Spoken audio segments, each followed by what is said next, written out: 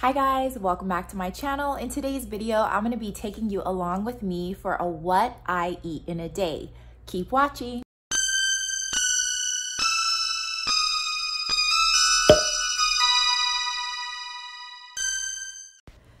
As soon as I wake up, the first thing I reach for is my water bottle. I like to enjoy this before breakfast and will typically wait till I have breakfast till about 8 or 9 a.m. This morning, I had the chance to get a workout in before all of my busy work meetings started for the day. And I typically do prep my smoothies. If you follow me on Instagram, I typically prep my smoothies the night before. But for the purpose of this video, I wanted to go ahead and make my smoothie in real time with you all so you can see what I'm putting in it. Because I did just get in a workout, this is my post workout smoothie. I really like to pack this with lots of nutrition, fiber, protein, and a really fun energy boost to keep me going through the day. Now, in this smoothie, I have added two cups of spinach, which, by the way, I know I'm making a mess. This day is so busy for me, so please forgive how flustered my hand's looking, sis. Your girl has a small window behind um, or between her meetings today. So I added two cups of raw spinach, half of a medium banana, and this banana wasn't frozen, but frozen bananas really do add that thickness to your smoothie. I'm also going to add in half a cup of frozen blueberries two scoops of chocolate protein. I'm using the Tone It Up brand. I also like the Garden of Life brand. Um, both are very natural, and I love that they're both available at Target. I'm also adding two tablespoons of raw cacao. And then just to kind of give me that pick me up that I need after my workout and before I go into my meetings, I'm adding one packet of instant coffee. I just grabbed the packet singles from the Starbucks brand that are available at my local grocer called HEB. And then I'm adding two cups of unsweetened almond milk. For those of you that have asked me in the comments, what is my pre workout before a workout? I do not take a pre workout. I do enjoy green tea in the morning or herbal tea in the morning. But if I drink a smoothie like this before I work out, and maybe I'm doing a workout in the afternoon, sometimes it's fun to add a little bit of the instant coffee grounds or organic cacao. But I'm not like the type of person that can drink coffee every day without getting the shakes. And it's as easy as that. I usually put her in a cute little mason jar with some type of cap and take it on the go.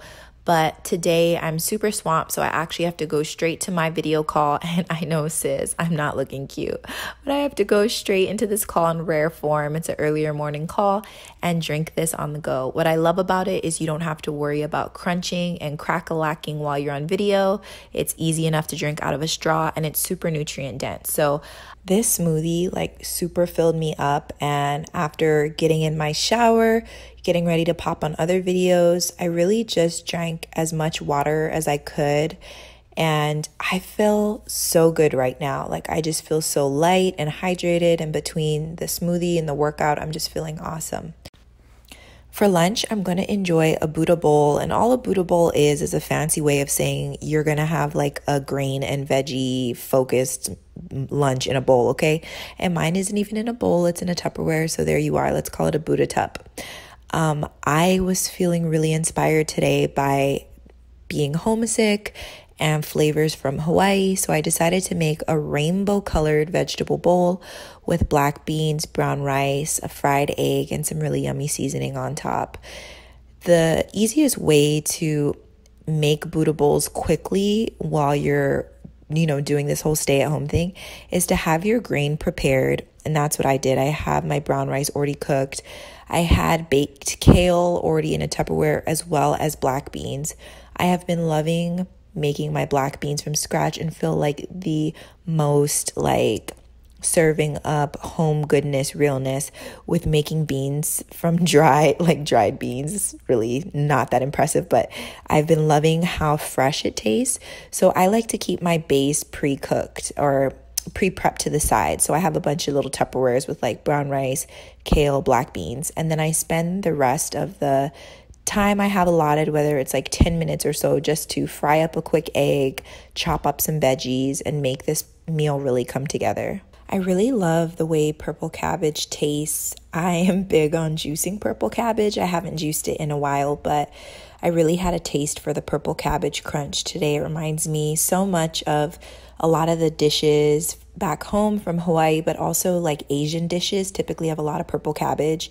And I love the way it really helps with the glow. So I decided to chop up some purple cabbage. Um, I'm also going to add in some colorful peppers, red, orange, as well as a white onion. Um, the eggs are cooking as I'm chopping this all up, which is great. It really makes for an easy and quick meal, as easy and quick as it should be. And I will say that this particular meal is pretty like nutrient dense. I'm not trying to skimp on the calories or anything. Uh, but that's the beauty with Buddha bowls. You can really build them up and make them fit around your goals. So for me, I wanted a lunch that was really dense with various nutrients, protein, and carbs, as well as some fat in there. And I'm getting that with this bowl. Um, while y'all know I don't usually track calories, I did want to capture it for you guys around this particular lunch so that you could see um, how much calories and protein are actually in this because you're probably looking at this and like, oh, she's just eating a little bowl of rice. But this actually has almost 600 calories in it. It's about 575 calories um, with almost 27 grams of protein, and half of it is comprised of carbs, and about 21% is comprised of healthy fats, which we're getting from the eggs. So, what I found works best for my body is not skimping on the carbohydrates and making sure that I'm really eating balanced meals throughout the day with plenty of protein, fats, and carbohydrates, and that's what works best for my body. Now that my egg is cooked, I'm literally just going to kind of separate it off so it easily fits into my Tupperware. I'm going to place it on top of the rice and beans and take it back to my little desk to hop back on meetings because today is seriously crunch time for me. Yay, snack time! It's snack time, sis. So, typically at this time, I like to enjoy something with collagen and something either warm or cold to kind of give me a little a little flavor in your ear, if you know what I mean. So today I decided I wanted to make a cold golden milk or an iced golden milk, should I say. And the main ingredients I'll be using are ground turmeric, cinnamon, collagen, and almond milk. So I'm going to show you how I make that here with two mason jars. Is I add 1 cup of almond milk, then I go ahead and add 3 teaspoons of ground turmeric, a cute little shake of cinnamon, one ancient nutrition collagen packet. And then I go ahead and throw my little blender ball in there from my blender bottle. You don't need to use this, but it just helps break up the chunks if you don't want to use a blender. And I shake it up all together. If I wanted to make this a little bit sweeter, I would add some honey as well. But this is the quickest way to make a quick iced golden milk. And I just pour this over my other mason jar, which I have filled with ice, and she's ready to go. I'm pairing this delicious ice golden milk with a goji berry, zucchini, dark chocolate mini muffin that I made.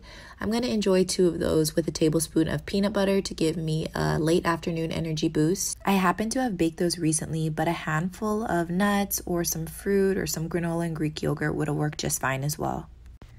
It was such a busy day today, and I'm just feeling this deep need to be out in nature and also, Naya has been needing to get some of her energy out. She's been a little bit more fussy in the evening, so I'm taking her for a walk in hopes that the cool breeze will calm her down. Even though I feel like I've been eating all day long, that walk was a great way to help me pick up an appetite for dinner. It wasn't anything strenuous, it was literally a chill stroll, but I'm definitely ready for dinner. Today is really busy. I typically like to eat dinner by 6 p.m., but Today I'm eating dinner just the way this day shook out, closer to 8 p.m. I'm throwing together a simple dinner by chopping up a raw sweet potato into small french fry like pieces, tossing it in organic olive oil and some seasonings. I like oregano and cumin, putting that on some non-stick foil, popping it into the oven and baking them. Typically 20 to 30 minutes works perfectly. I like my sweet potato fries a little bit crispier, so you could probably do closer to 20 minutes, but I put these in for about 35 minutes. Uh, the walk definitely didn't work. She is a hyper baby zombie and she's chasing me everywhere, but she'd be trying to act so sweet and innocent when I put the camera on her. I already had some salmon fillets prepped, so I'm just gonna heat that up in the microwave. Then, once the salmon is all heated up, I'm placing it on a bed of baby spinach, topping it with some mango pico de gallo I got from the store. Some salsa in a jar would work just fine too, as long as it is pretty healthy ingredients. And then I'm placing my sweet potato fries to the side of all of this. It's pretty amazing how many sweet potato fries I can get out of one sweet potato. I always forget. This is what my dinner looks like tonight. With dinner, I always take one digestive enzyme, and then typically about an hour before I go to bed, I will take one of my probiotics. So that's what I ate today on this busy day full of lots of work calls. I plan on making more episodes like this for you since I don't eat the exact same thing every day and I get a lot of questions on what types of foods that I eat. Thanks for watching.